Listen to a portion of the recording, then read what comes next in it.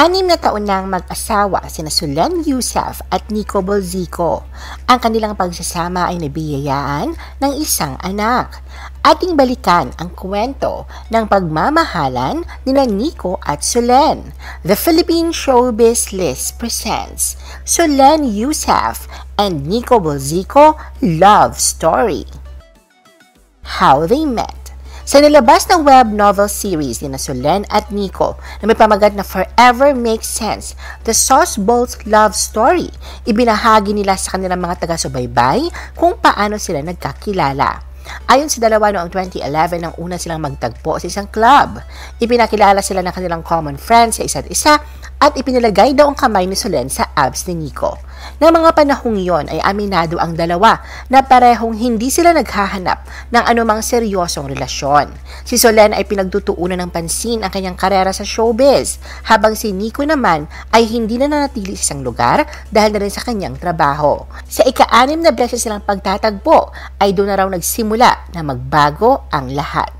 Pag-amin ni Solen na siya ang unang gumawa ng paraan upang magkaroon sila ng komunikasyon ni Nico.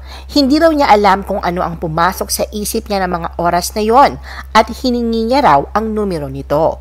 At laking pasalamat niya dahil hindi siya nangiming gawin yon sapagkat natagpuan niya ang lalaking makakasama niya habang buhay.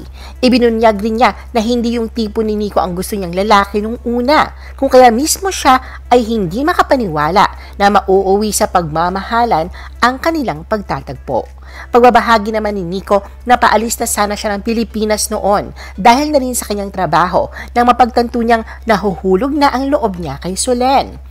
Dahil doon ay hindi na raw siya nagdalawang isipan na umalis sa kanyang trabaho at nanatili dito sa bansa kung saan kumuha siya ng apartment para sa kanila ni Solen.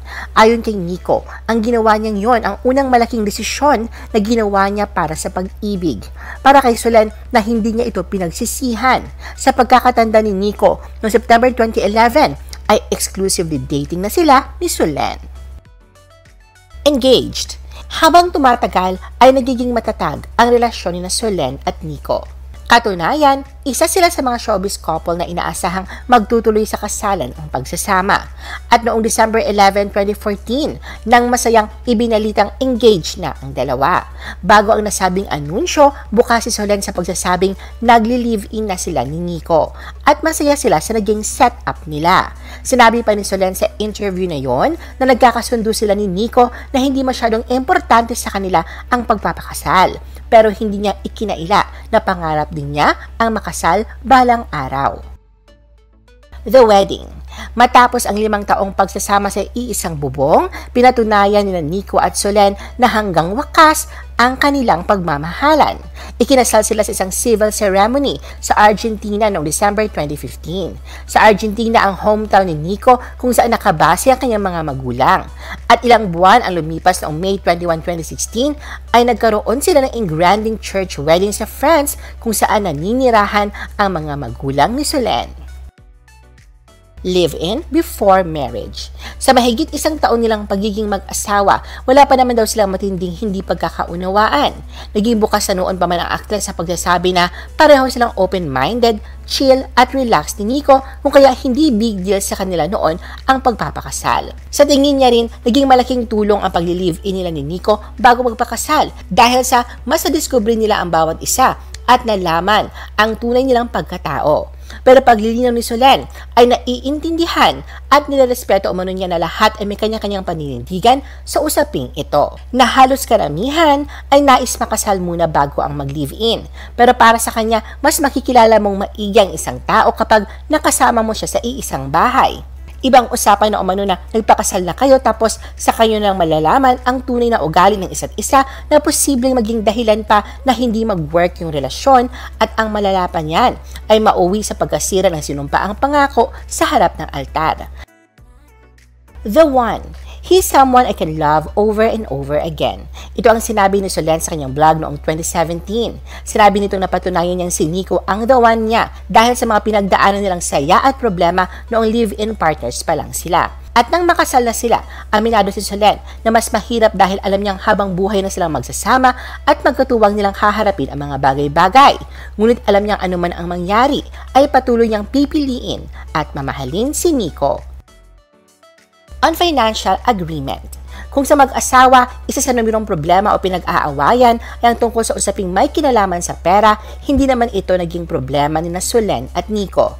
Pagbabahagi ni Solen, hindi niya alam kung magkano ang kinikita ni Nico, bagamat may ideya na ang mister sa kanyang kita, hindi naman daw alam nito kung may saving siya o wala.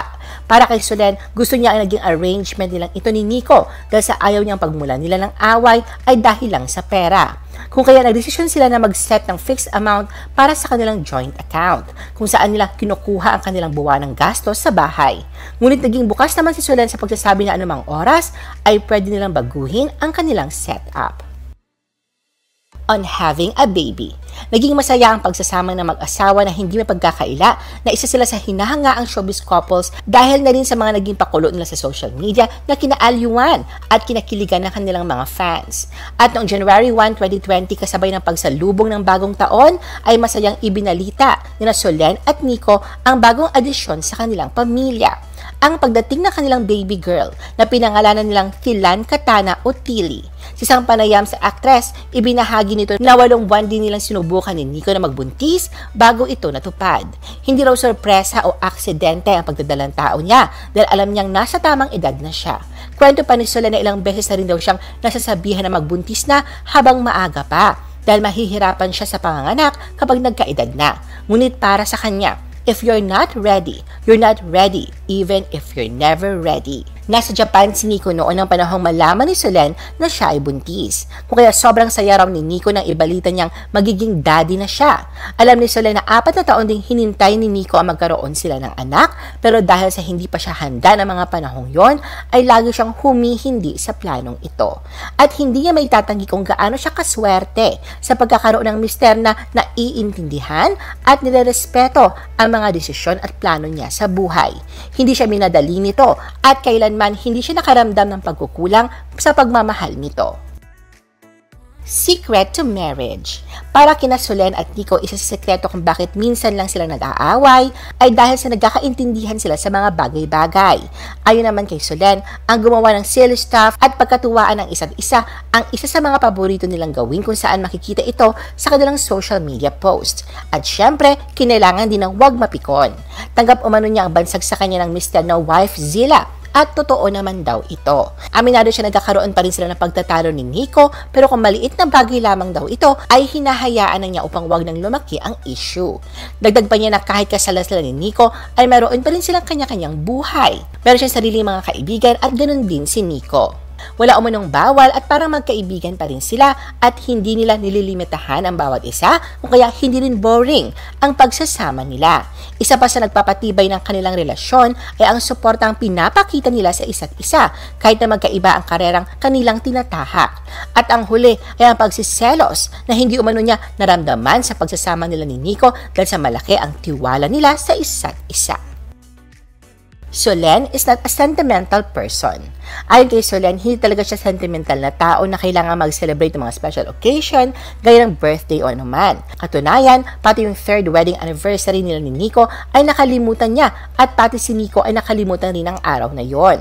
Hindi naman daw siya nagtatampo na hindi maaalala ng kanyang asawa ang espesyal na okasyon nila dahil siya nga mismo ay hindi rin naaalala ito. Kung sakaling naaalala ni Solen at Nico ang kanilang wedding anniversary, hindi rin daw sila ang tipo na lalabas at magdi-date date.